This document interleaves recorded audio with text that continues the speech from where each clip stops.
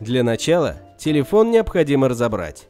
Последовательность разборки подробно описана в ролике «Разбор Nokia 6520S».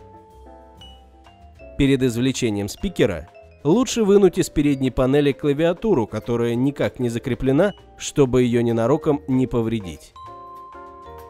Спикер, или по-другому выходной динамик, зафиксирован на передней панели аппарата с помощью двустороннего скотча. Извлечь его можно аккуратно подцепив каким-либо тонким инструментом с одной стороны. Устанавливать новый спикер удобно с помощью обычного пинцета. После установки проверьте, что он прочно сел в предназначенное для него отверстие в панели.